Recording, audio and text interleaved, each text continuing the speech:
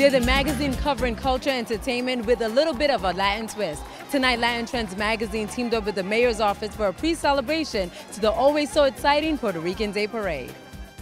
On this beautiful spring day, music and the smell of Puerto Rico filled the air as folks came together to enjoy the festivities before the big parade on Fifth Avenue. Mayor de Blasio and Speaker Melissa Mark Viverito opened up the reception with celebratory remarks. The Puerto Rican people in this city have been quintessential to all that is New York City. The personality of this city, the culture of this city, the strength of this city is derived in large measure by the, from the Puerto Rican community of this city. That is a fact. So it is really a great day. So I want to thank each one of the board members that are giving of themselves to make sure that Sunday's parade is a success. ¿Quién va a estar en la Quinta Avenida el, el domingo? ¿Quién va a estar ahí? Vamos. President Ruben Diaz, who is of Puerto Rican descent, proudly represented and said whether you call yourself Puerto Rican or New Yorican, it was all the same and all about unity. Especially in the Puerto Ricans Day Parade, we're all Puerto Ricans.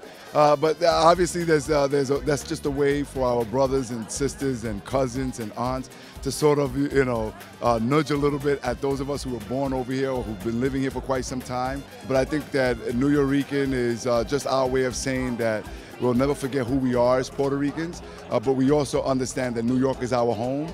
Uh, and we're going to represent and do the best that we can to move New York forward and at the same time uh, wear our Puerto Rican pride on our sleeves.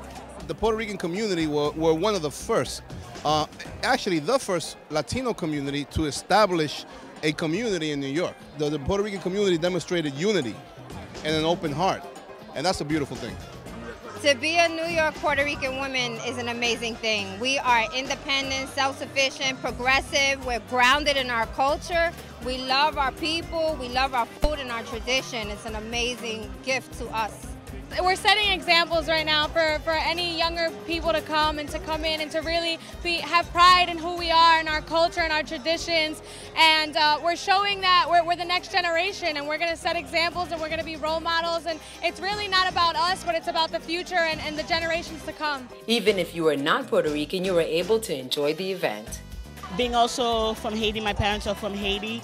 And when we think about the islands, and we feel there is a strong connection between us and, and Puerto Rico. We're here together celebrating heritage, not only from Puerto Rican community, from just the world. A world of unity, a world of love, and a world of possibilities. So I'm very excited about being here. That was just a small dose of the excitement of what's to come for Sunday's 57th annual Puerto Rican Day Parade. And you better believe that Latin Trends will be there to catch all the highlights. I'm Veronica Guiti, and that's all we have for right now. But continue to stay tuned to LatinTrends.com.